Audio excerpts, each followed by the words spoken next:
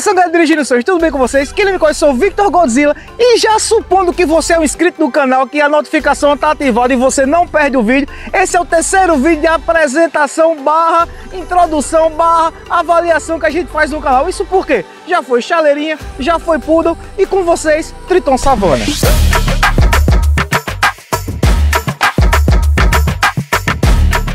Antes de apresentar esse carro a vocês, já se inscreve no canal, curte o vídeo, não deixa pro final não, que eu tenho certeza se deixar pro final você vai esquecer, já deve ter umas 40 abas abertas aí com outros vídeos também. Espero eu do Dirigindo Sonhos também. Já se inscreve e comenta aqui qual carro que você quer que a gente traga aqui para avaliação e o que você espera desse novo, novo projeto. E vamos dar as boas-vindas para a Mitsubishi Triton Savana 2017 automática. Pouquíssimas pessoas sabem que esse carro saiu também com câmbio automático, porque a grande maioria dela só sai com câmbio manual. Mas os últimos anos, as últimas versões, saiu também com câmbio automático. Tem um detalhezinho, esse câmbio já é atualizado. 90% da Triton, ela sai com câmbio automático de 4 velocidades. Aqui não, aqui já é com câmbio de 5 velocidades. E esse, se você é inscrito aqui, como eu já falei, com certeza já sabe que foi o grande motivo de eu sair da chaleirinha aqui para esse carro. Eu estava precisando sim de um carro com câmbio automático, porém que fosse eficiente.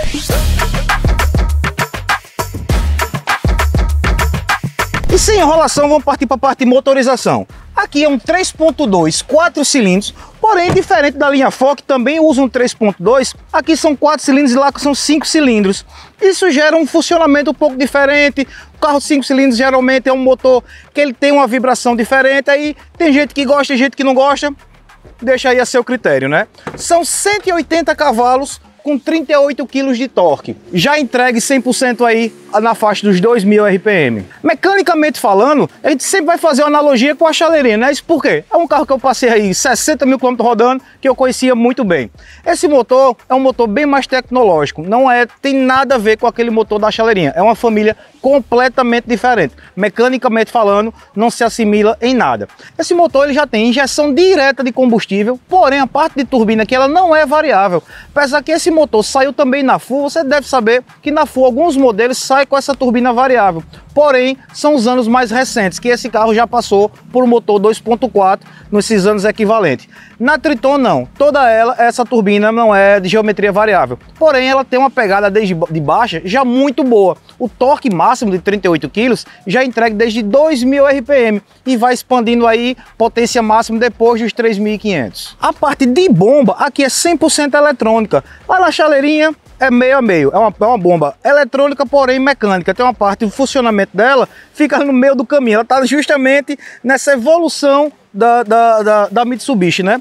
Fora essa parte de bomba, a parte de acelerador aqui também é eletrônica, ou seja, toda a parte de aceleração não tem nada de cabo, tudo completamente eletrônico parte de cabeçota, que é um duplo comando de válvula com corrente de comando.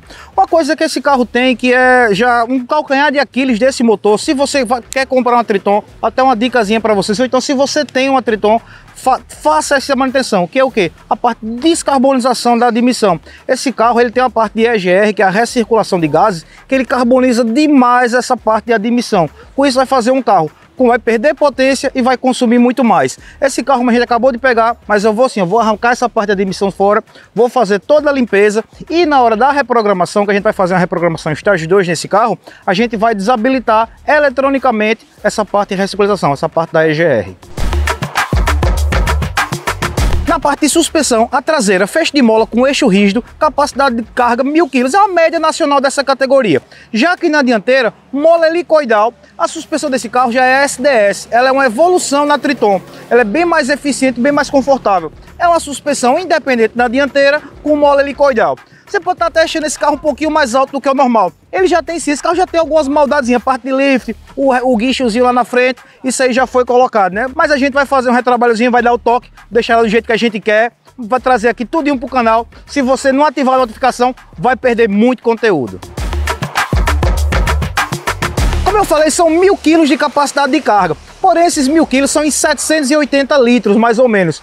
Esse carro tem uma curiosidade. A caçamba dele é bem curtinha, tem pouco mais de 1,30m de comprimento. Você tem noção, fazendo analogia novamente com a chaleirinha, ela tem 1,60m, ou seja, esses 30 centímetros, para quem precisa de carga, para quem usa realmente para trabalho, faz sim uma grande diferença. Tanto que a Mitsubishi fez uma versão com essa caçamba estendida. Ela é um, é, tem justamente esses 30 centímetros a mais e mantém esses 1,60m. Para mim, pode ver, né? É suficiente. Como minhas tranqueiras aqui, como minhas coisas tudinho. Mas se você quer realmente usar para carga, provavelmente você não vai, ter, não vai pegar uma savana não. Vai ter que pegar uma Triton normal com essa caçamba alongada. Um detalhezinho que vale a pena ponderar demais, se você tem ou se você quer comprar um carro desse, ele tem, vai ser comum, você com certeza já deve ter visto por aí, um Astriton com uma manchazinha aqui um lado, uma manchazinha do outro. O que acontece com esse carro? É, esses cabos de aço que tem aqui na lateral, não sei se ele cansa, se ele cede o que é, que ele desce e essa parte ele encosta aqui nesse, nesse, nesse apoio, nesse pezinho aqui e começa a chegar até a amassar. E ele não tem a questão de amortecimento nem nada é até bem considerável, bem, bem pesadinha. Como é um vídeo de avaliação, tem como deixar isso passar não, né? Outra curiosidade da Savana é a altura dele. Esse carro são 10 centímetros mais alto do que a Triton do mesmo ano, ou seja, 1,88 contra 1,78. A Savana é sim uma das, das, das versões da Triton mais cobiçadas e até mais procuradas. Essa aqui a gente até procurou aqui na região. Outra que fizesse uma pareia, não tem não.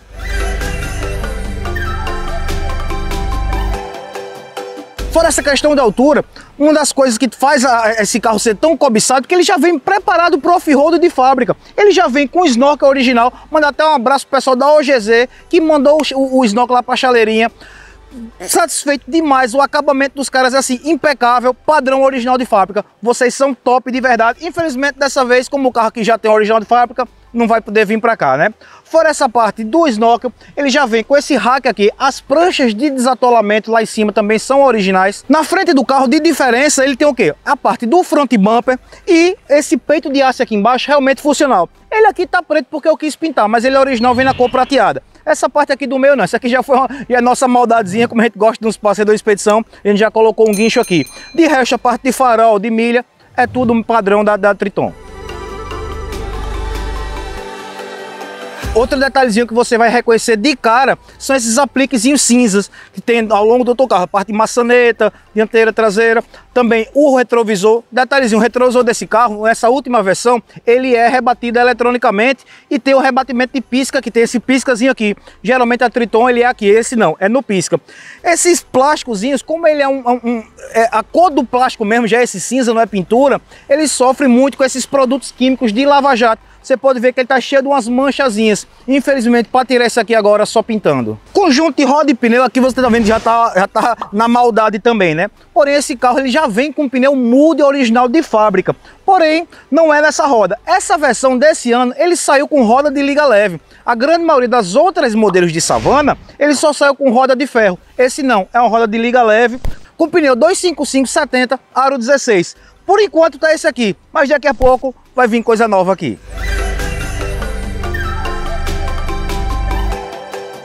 Passando para a parte dentro do carro, não deixa de ser, como eu falei, um carro de trabalho. A gente no Brasil que tem esse costume de caminhonete usar como carro até de luxo, né? Mas não, caminhonete é sim um carro de trabalho. Ou seja, aqui você vai encontrar, hoje fazendo um, uma referência com o preço atual de um carro desse, uma Triton Savana é, 0 é, km já está aí que 300 mil reais. Trazendo para o ano, que é um carro 2017, você vê, é plástico duro em todo canto. Por quê? A, a, o foco aqui desse carro não é nem o luxo, essas coisas, e sim a parte de resistência e robustez. Mas também não deixa a desejar em nada essa parte de conforto. Banco de couro, original de fábrica, o, o, o banco tem regulagem não só de inclinação para frente e para trás, como também de altura, através dessa alavancazinha aqui. O volante, porém, é só de altura, não tem profundidade. Falando no volante, volante multifuncional, do lado esquerdo a parte do controle de som, do lado direito do do cruise control, que é o piloto automático, né? Não é adaptativo até porque é um carro 2017. Do lado esquerdo aqui do painel, ele tem esses botões, tem a parte de ajuste eletrônico do retrovisor e a parte de rebatimento. Essa versão da Savana é a única que sai com essa parte de rebatimento eletrônico, juntamente com a parte do piso que eu mencionei lá fora. Aqui do lado direito, até por se tratar de uma das versões mais completas, ela já vem com a, com a multimídia, que tem sim, apesar do ano, não tem esse negócio de Apple CarPlay, essas coisas não tem não. Mas tem um, um, bom e velho iPod. Se você ligar seu iPhone aqui, você consegue controlar a parte de música todinha por aqui. Bluetooth, e um CD que já fazia até um bocado de tempo que eu não vi um sonzinho com CD, né? É até interessante que é separado. A tela aqui em cima e os controles do som aqui embaixo. No meio tem a parte de ar-condicionado. Não é digital, mas é um controle bem funcional. Descendo mais um pouco aqui embaixo do som, tem uma parte de acendedor de cigarro, que aqui provavelmente eu vou jogar fora, eu vou utilizar só a parte de tomada 12 volts. Uma entradazinha USB que serve tanto para você carregar, como ligar, conectar o seu celular com o som também. Um porta-treco aqui, a alavanca de câmbio, e a alavanca do 4x4, com opção de 4x2, você colocar para frente 4x4 normal, mais para frente um pouco, 4x4 reduzida. Vale salientar que esse câmbio ele já tem a opção de Triptronic, ou seja, você jogou aqui para o lado, você consegue passar e, e, reduzir a marcha manualmente. Uma curiosidade com relação à tração, fazendo novamente uma analogia lá com a chaleirinha, a chaleirinha ela tem um bloqueio eletrônico do diferencial traseiro, ou seja, tem um botãozinho no painel que você aperta nele bloqueia uh, o diferencial traseiro. Esse carro aqui não tem, ou seja, é um carro mais moderno, é um carro bem mais é, é, robusto, assim, diga-se de, diga de passagem, porém, esses detalhezinhos perdeu. E para saber se ele realmente é bom, se ele realmente é eficiente, a gente vai fazer assim, uma avaliação com esse carro lá no circuito off-road. Já tive a notificação que, como eu falei, conteúdo com esse carro, meu amigo, vai ter e é muito, não é pouco não. Trazendo aqui já para o console central um porta-copo aqui no meio ao freio de mão e um porta-treco aqui já até bem generoso com a cochoada aqui assim que já serve de apoio de braço, né? Aqui na parte de cima tem um porta-óculos, é, luz de, de, separada para um lado para o outro, já é elétrico, já foi eu coloquei já, né? No quebra-sol, um espelhozinho de um lado do outro, tem os puxadores de braço lá atrás, o apoiozinho de braço lá atrás aqui. O banco de trás, apesar de ser para três pessoas, mas ele é para duas. Até a parte de encosto de cabeça só tem dois. E no meio tem até um, um, um, um apoiozinho de braço com porta-copo. Mas lá atrás quem anda é Brownie mesmo, ou seja, podia ter espaço só uma cadeirinha lá que já estava suficiente. Outro detalhe da, da savana é essa parte do, do, do, estofamento, do estofamento não, do acabamento interno. Geralmente é carpete, né? Você vê todo um carpetezinho. Esse carro, né, ele tem um emborrachado por todo o piso. Isso porque, como ele é um carro já voltado para off-road, esse, esse, esse, esse, preparo que eles fizeram é justamente para você conseguir melar o carro todinho e lavar com total facilidade.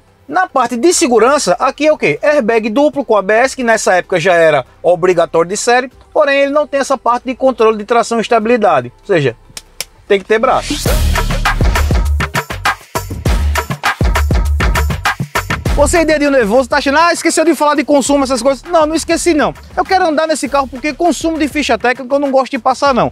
Deixa eu andar, deixa eu testar, fazer uma viagem ou outra nesse carro, aí eu posso te passar o real número desse carro e o consumo bem certinho. E se você chegou até aqui sem se inscrever no canal, pelo amor de Deus, né? Ajuda a gente, se inscreve no canal. É importante demais que você seja inscrito. É fácil demais. Loga aí com sua conta do Google, clica aqui em inscrever-se. É muito rapidinho, isso ajuda demais e motiva a trazer cada vez mais conteúdo conteúdo para vocês. Comenta aqui embaixo qual o conteúdo, qual o teste e quais modificações que você quer que a gente faça aqui na Triton. E já comenta também qual o nome, que tem chaleirinha, teve poodle, ainda tá sem nome, né? Beleza, galera? Espero demais que tenham gostado do vídeo e fui!